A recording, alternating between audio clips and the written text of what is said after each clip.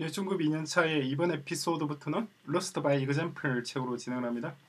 어, 이 책은 중급 1년차에서 우리가 어, 제 1장부터 그리고 몇 장까지인가요? 8장까지는 중급 1년차에서 다뤘잖아요. 그래서 중급 2년차에서는 9장부터 연속적으로 어, 학습을 진행하도록 하겠습니다. 9장부터 해서 쭉 나가서 끝까지 다는 게 아니라 또 제일 마지막 장은 중급 3년차에서 다룰 거예요. 제일 뒤에 있는 19장하고 어, 20장하고 몇 가지는 중급 3년차에서 다룹니다. 그리고 나머지는 대부분 다 중급 2년차에서 다룰 거예요.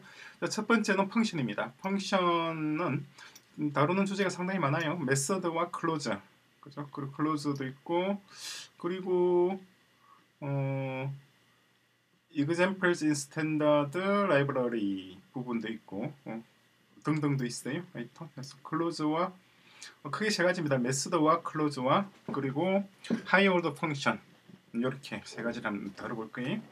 첫 번째 function이라고 한다면은 어, function에 대한 내용은 우리가 이미 뭐 몇 차례 봤습니다만 이번 기회에 다시 한번 좀 보죠. 어, 예제가 잘 나와 있어요. 복사를 해서 자 이것이 function에 대한 가장 일반적인 내용입니다. 보시면은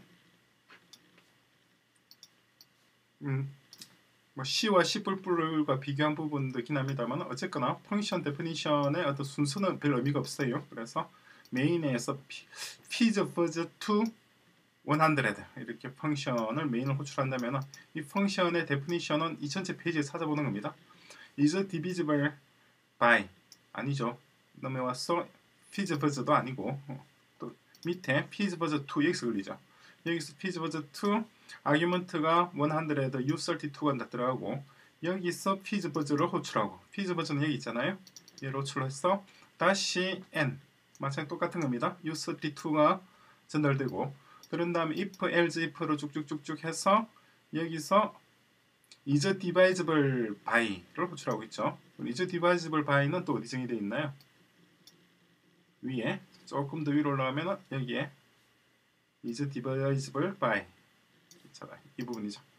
여기서 left hand side 보통 LHS라고 그러면은 두 개의 아규먼트 중에서 왼쪽 편에 있는 것은 LHS left hand side라고 그러고 두 개의 아규먼트 중에서 오른쪽에 있는 것은 그냥 RHS라고 통속적으로 그렇게 불러요. 어, 다른 별다른 의미가 있는 건 아닙니다.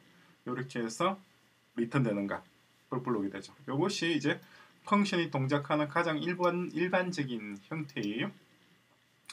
자, 그래서 첫 번째 음, 메소드부터 하나 살펴보도록 하겠습니다.